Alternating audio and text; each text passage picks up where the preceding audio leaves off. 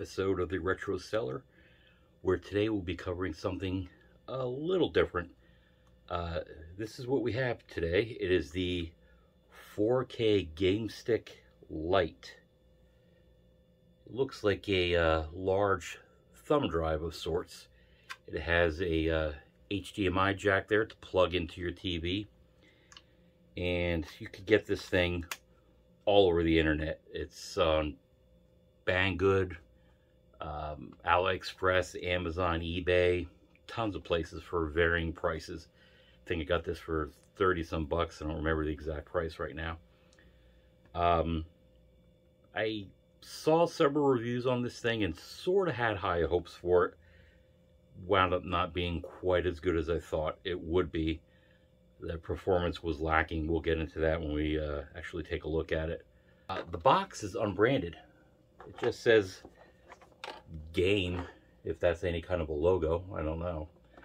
Uh, 2.4 gig wireless controller gamepad. It's no one's claiming ownership of it. You know, it's not like it's an Anbernic, Powkiddy, Data East, or anything like that. But they're all over the place. Um, there is a, a console out there called the Super X console. I believe that's what it's called. Uh, they have a version of this, a, a, device similar to that, with a differing performance in it. Uh, if you know the Super Console X, the actual um, console itself, put a picture right there of it for you. Uh, they have a game stick version of it as well that apparently performs as well as that does. And I've heard good things about that. This, uh, I heard a couple mixed reviews. I, I, we'll get into it. It's not that great. So, in the meantime, why don't we do like a little pseudo unboxing of this thing? Then we'll play a few games of it and you'll see exactly the issues that it has.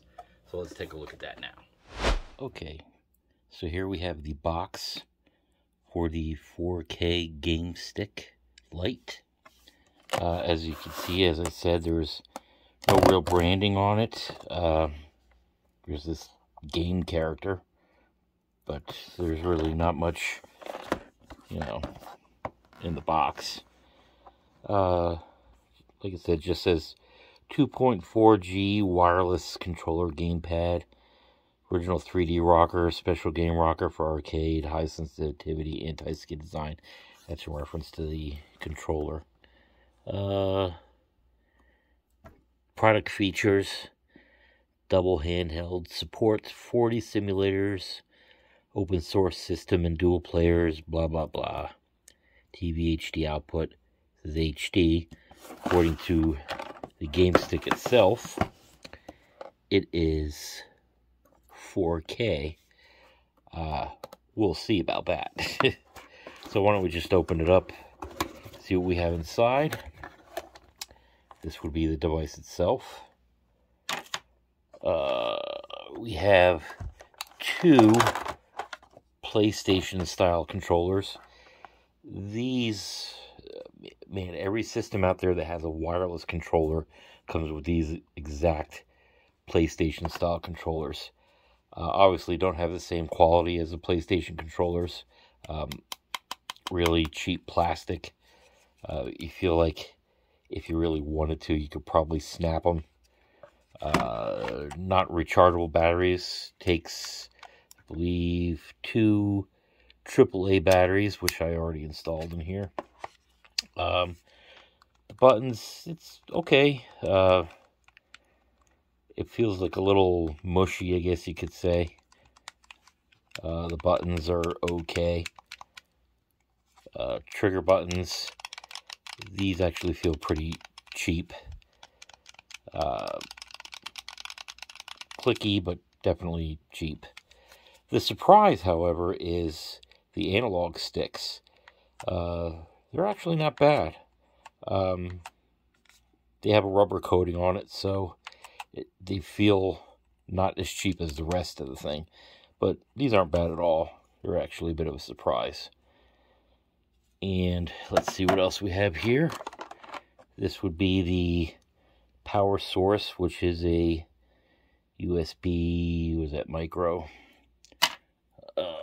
We have here. Uh, this is an extension for your uh, HDMI input because some TVs, um, the actual device might not fit into the uh, back of the TV or wherever you want to connect it. Uh, so this is actually pretty nice. This allows you a little bit of an extension to get at it should your device not actually fit in it. Uh, got two little, uh, they're not even stickers, uh, little pictures of uh, Mario and Mario and Luigi. Ooh, Nintendo wouldn't like that. Uh, what else do we have in here? Uh, this is a dongle that you would use to plug into the uh, game stick itself in order for your wireless controllers to function.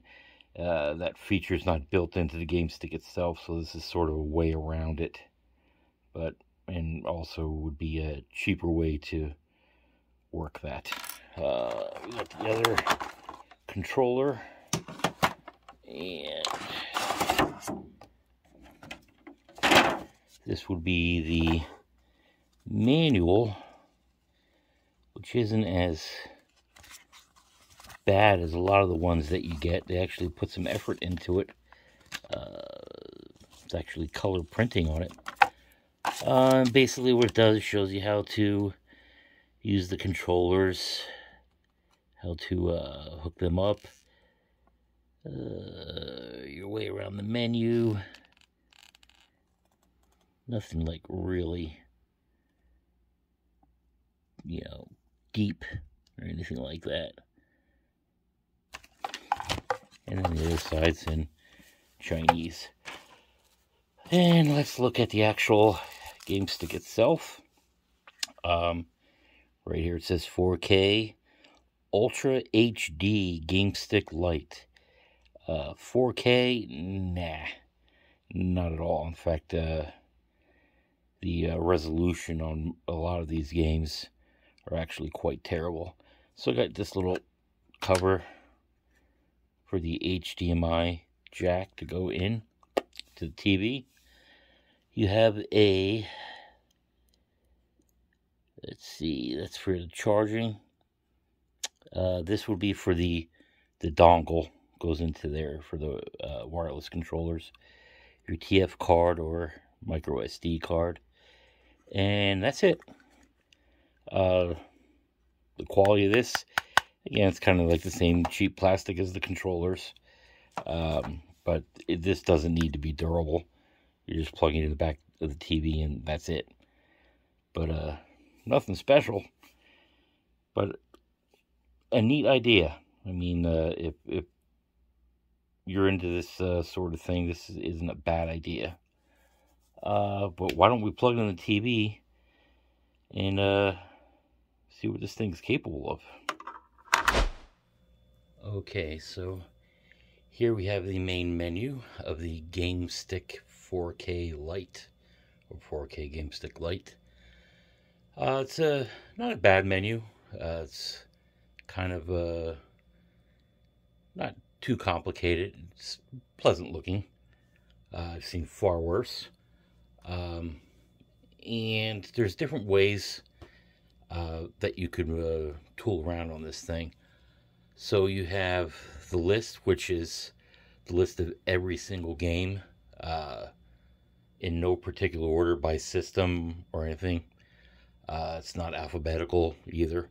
But as you can see, if you scroll upwards, there is 10,208 games, sort of. Uh, there are uh, repeats, um, I believe.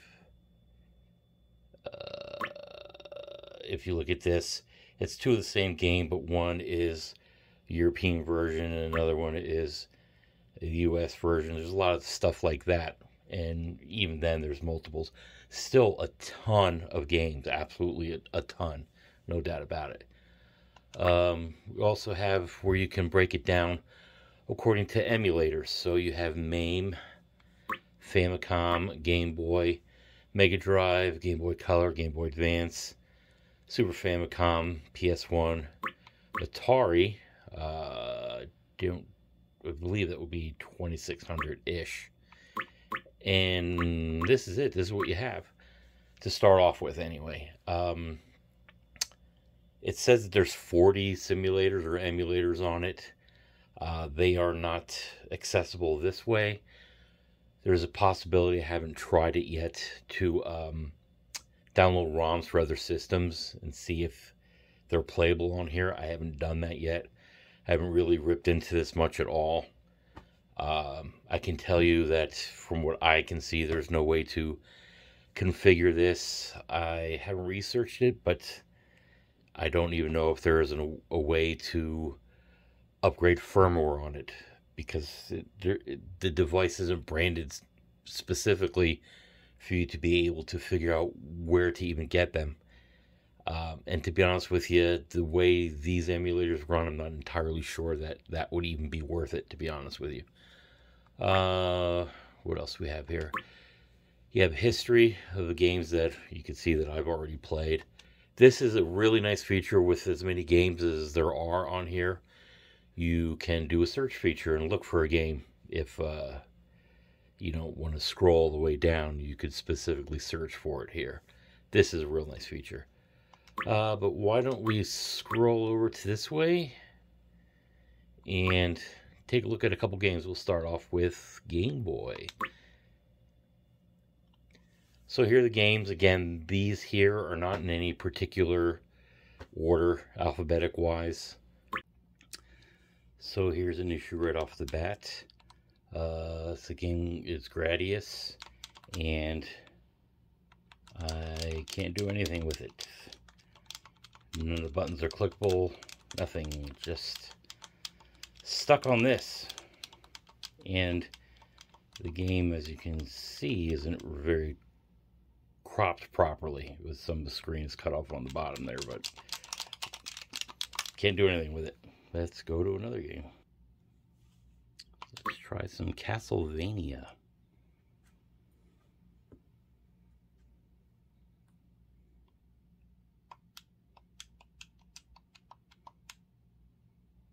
and we are having the same issues where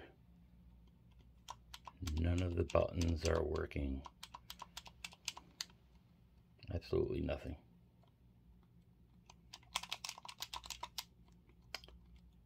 So let's quit that. So anyway, here's the title screen to Double Dragon. Um, none of the buttons are working. I've attempted to configure the controllers. There really isn't much to do other than this. And uh, nothing. So Game Boy games do not function on this device. But you can look at the title screens if you want. So here's Marvel Superheroes for MAME. Um, so it's not cropped all that great. graphically it's a little um, blurry, but it's not too bad. At least the controllers work.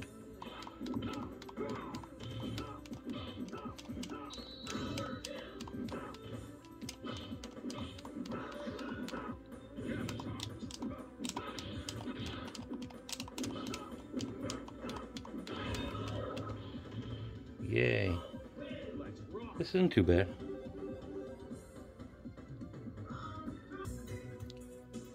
This would be Street Fighter 3 Alpha.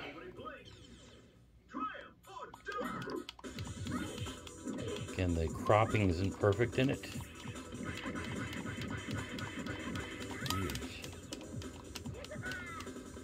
She's beating my butt. And again, graphically, it's not that clear.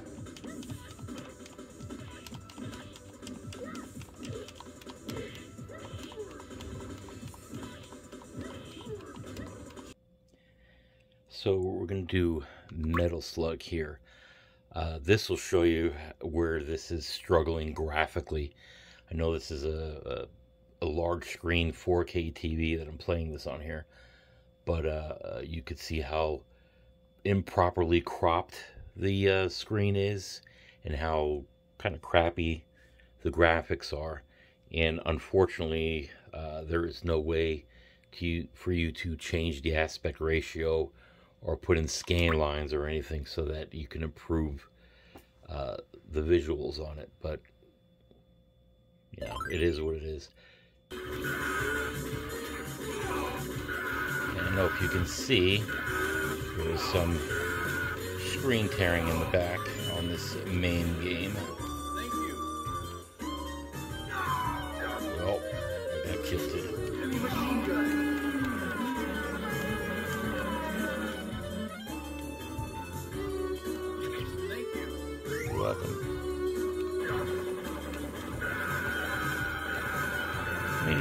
Playable.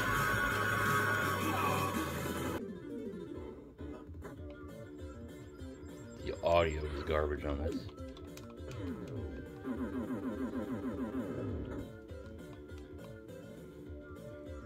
Doesn't look too bad. It appears to be properly cropped, but the controls, there's a bit of a lag, like a split second of a lag on it.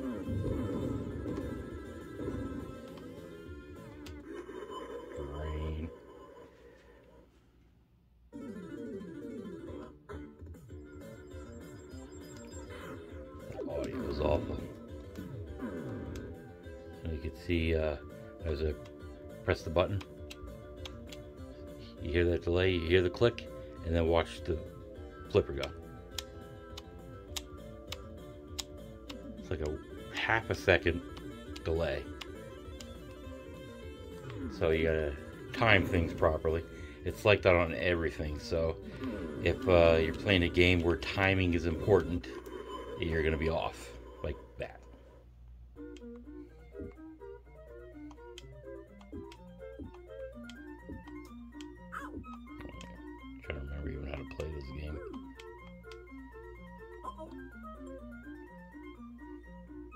Again, the sound is real bassy, not clear at all.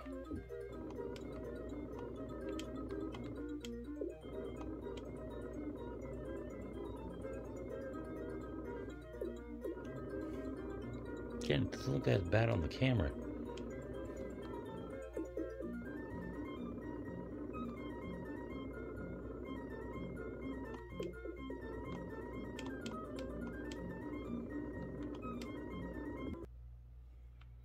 Funny when you scroll through these uh, games listed, which again are not in alphabetical order.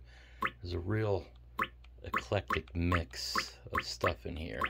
As you look down here, again, no, this is no criticism of the device. So here is Sonic the Hedgehog on CPS. Look at this. This should not be taxing the system in the least. Look at that.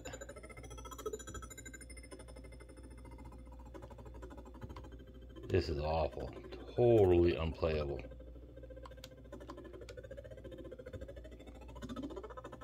Look at that. Even screen tearing. Screen tearing, oh, audio's glitchy, everything's in slow motion. There's no reason why this shouldn't be playing on it. This this is not good, people.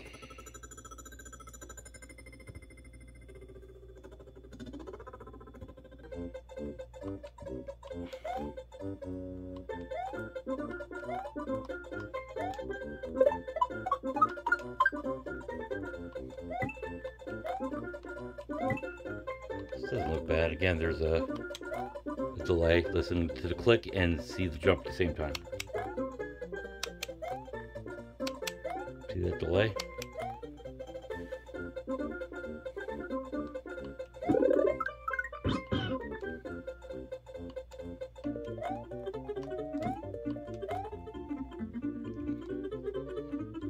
See, it's hard to even get it to go onto Yoshi.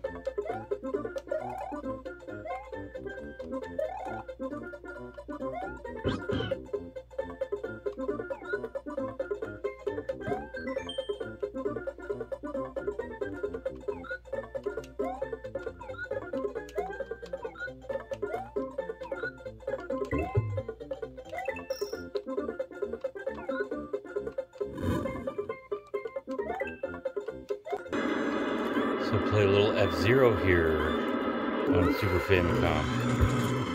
Trying the analog stick. Doesn't look too bad.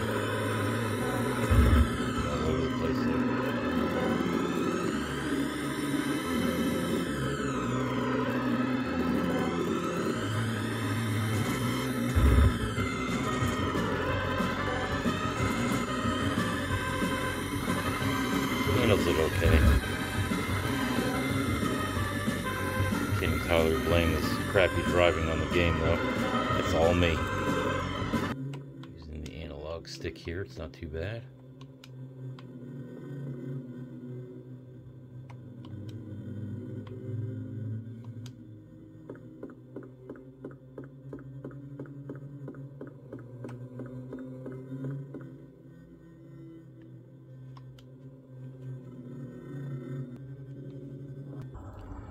So we're doing Wipeout on the PlayStation 1.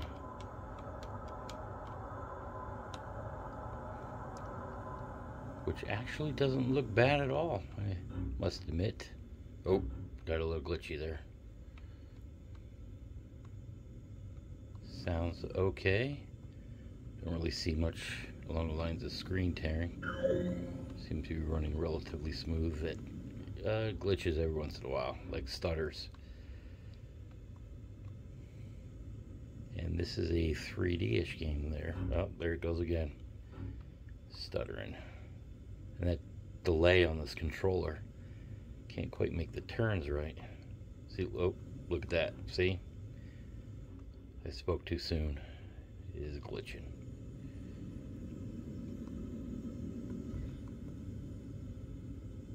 seem to remember there being music in this.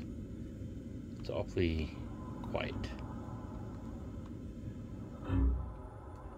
I believe there is supposed to be music. Oh.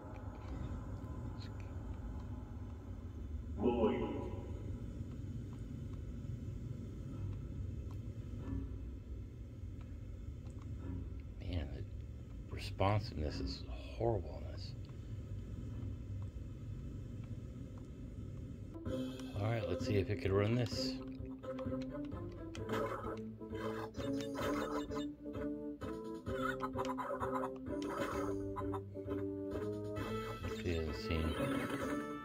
Horrible just yet.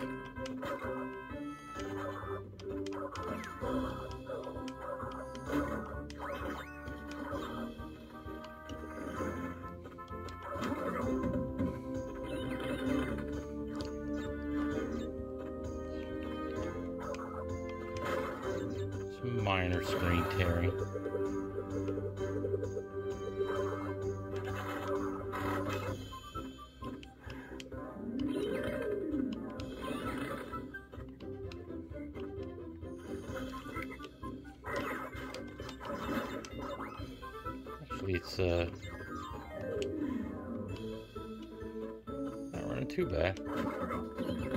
So I'm wondering if it's a system issue with some of the other emulators. Because this should be struggling a little bit with the way it was doing CPS games and some of the Mega Drive games, but not too bad.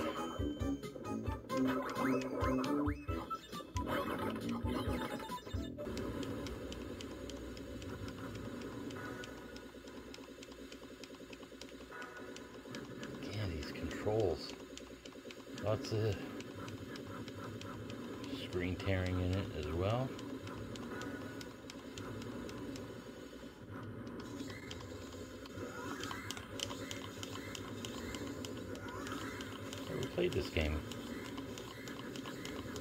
Probably get it for my PS1.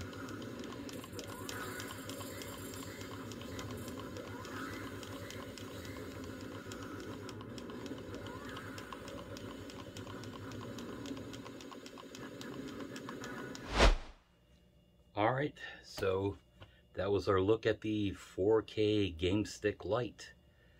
Um, are there pros to it? Yes, there's a lot of games on it. most of the games are actually playable. Um, it's convenient. I mean, what you could do with something like this, the controllers are crap, as we saw, uh, but it's really portable. You want to go play some old school games, throw this in your pocket, take a couple of controllers, go over to a friend's house, plug another TV, and you can play away on it. Had, as we looked, uh, screen tearing on some basic 16-bit games. Um, had a lot of repeats. You know, it's sold as having 10,000 games on it. There's a lot. There's thousands of games on it, but there's a lot of repeats, a lot of renamed games, homebrews, stuff like that. But it's not bad. Um, will I play this a lot? Probably not. It's probably going to go back in the box and collect dust like a lot of the items that I have here. Uh, but, I mean, you can't go wrong. It wasn't horribly expensive. Um, my kids will probably play with it, my son.